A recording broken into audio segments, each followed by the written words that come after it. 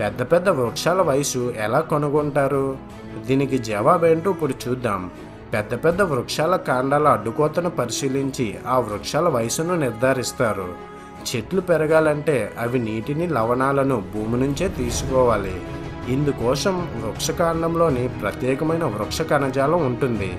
దానినే plant tissues అంటారు. ఇందులో ప్రధానమైనది జైలం కణజాలం.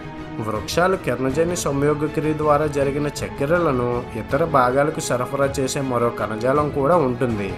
దాని పేరు ఫ్లోయం. ఈ జైలం ఫ్లోయం కణజాలాలు చెట్టు బెరడు కిందనే ఉంటాయి.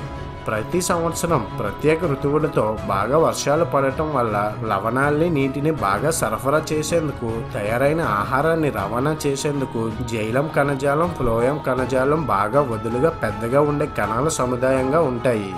దీన్నే కేంద్రీయ పొర అని అంటారు. కానీ వర్షాలు ఆగిపోతే అనుకూల పరిస్థితులు లేకపోవడం వల్ల అవి గట్టి పడతాయి ఆ తర్వాత సంవత్సరం మళ్ళీ కొత్త కేంద్రీయం పాత గట్టిపడ్డ పొర మీద ఏర్పడతాయి. అంటే ప్రతి సంవత్సరం ఒక కొత్త వలయంలో కణజాలం వృద్ధి చెందుతుంది. ఇలా వలయాకారంలో ఏర్పడ్డ పాత కొత్త రింగుల స్వరూపంలో తేడా ఉండడం వల్ల మనం సులభంగా వాటిని గుర్తించగలం. ఇలాంటి వలయాలు వార్షిక వలయాలు లేదా వృద్ధి వలయాలు అని అంటారు.